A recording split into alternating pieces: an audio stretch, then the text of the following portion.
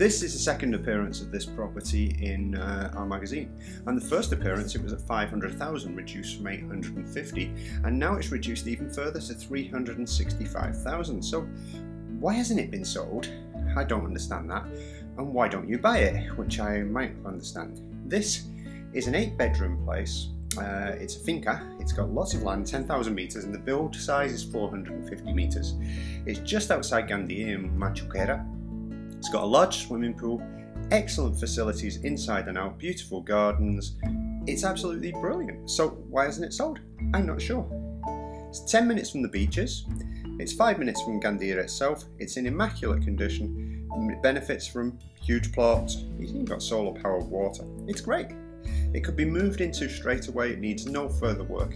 And it'd be a perfect home for a large family or anyone who loves entertaining. It's a tremendous property at a mouth-watering price and within minutes of some of the best beaches in Spain.